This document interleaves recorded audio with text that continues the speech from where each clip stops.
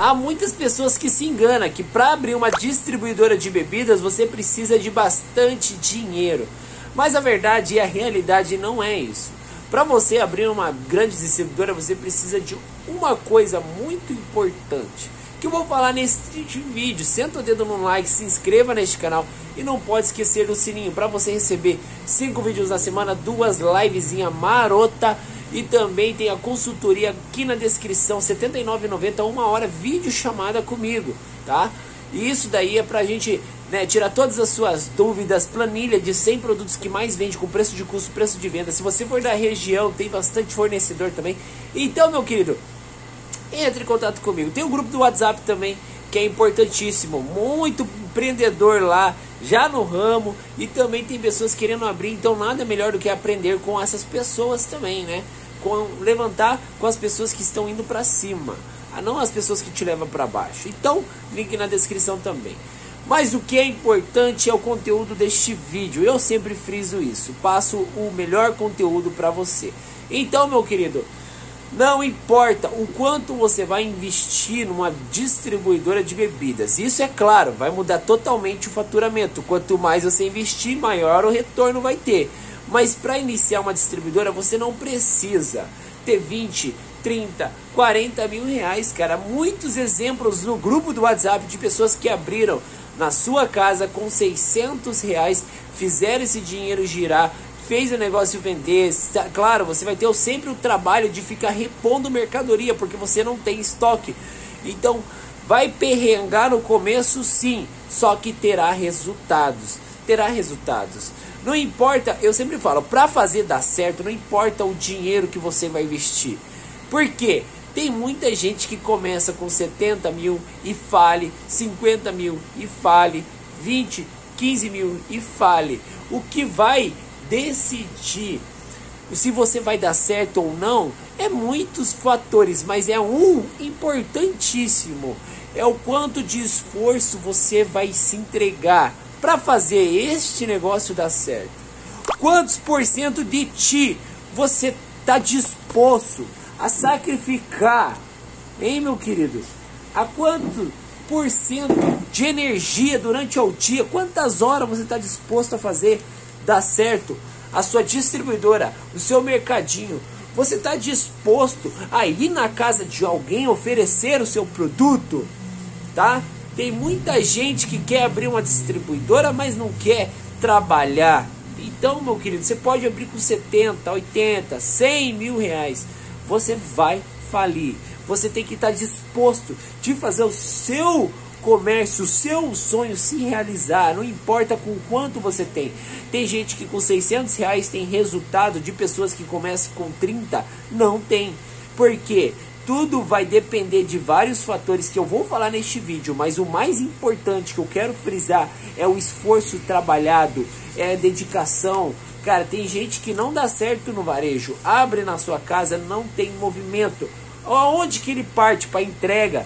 Ele entrega o teu produto para pequenos negócios, faz tipo um atacado e consegue ganhar dinheiro. Não ganhou dinheiro com o varejo, mas conseguiu fazer girar o seu dinheiro com o atacado. E tem muitas outras coisas que o esforço consegue se destacar, mas também pode potencializar e fazer você dar certo, é o ponto perfeito. Se você tiver um ótimo ponto, visibilidade, fluxo de pessoa, isso te ajuda a dar certo. Por quê? Você não tem cliente, você tem que correr atrás dele. Mas se você tem um fluxo de cliente, o cliente corre atrás de você, também ajuda você vender e aumentar o faturamento e dar certo. Então, tende-se a pensar nisso. Tem muita gente que não tem um fluxo de pessoa de casa, não tem movimento. Qual que é a ideia? Abre na sua casa, vai fazendo a venda aí. Surgiu uma oportunidade, parte para um ponto comercial com fluxo de pessoa pagando aluguel.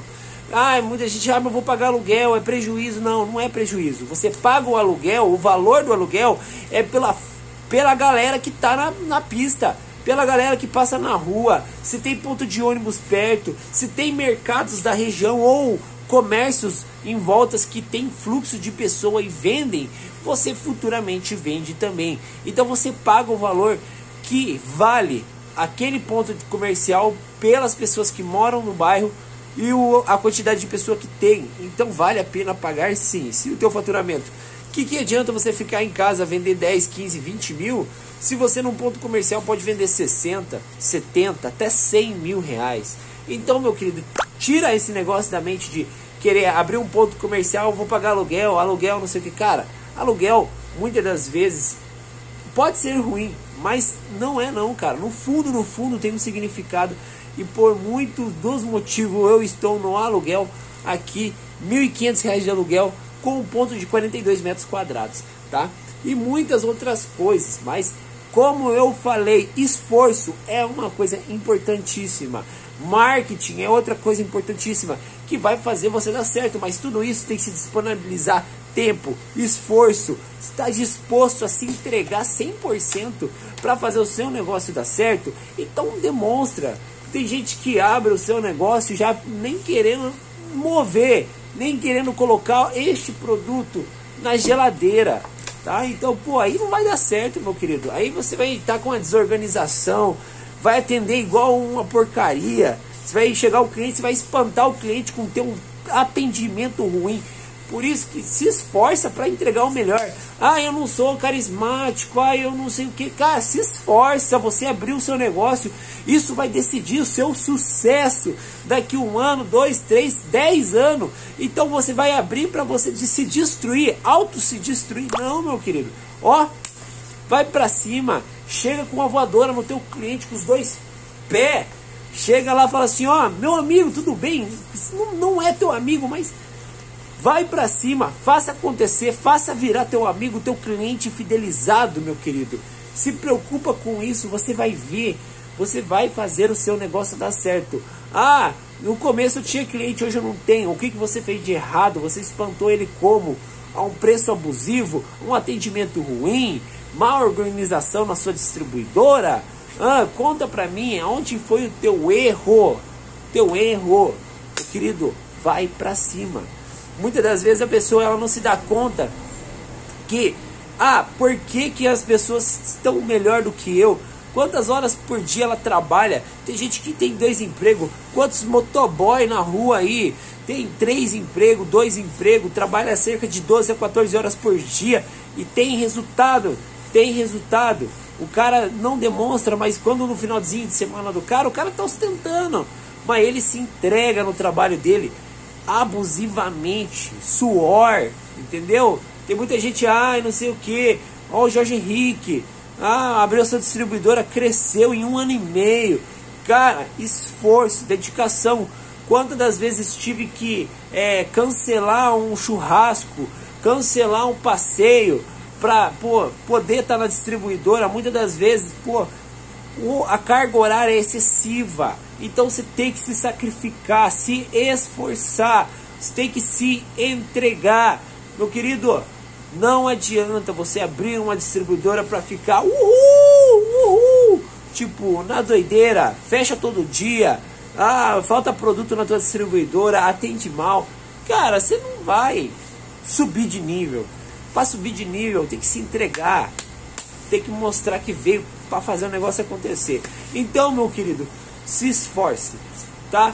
Muito obrigado por você assistir esse vídeo até aqui. Espero que você tenha pegado a visão. Senta o dedo no like, se inscreva neste canal e não pode esquecer do sininho, beleza? E vamos pra cima, família. Até o próximo vídeo.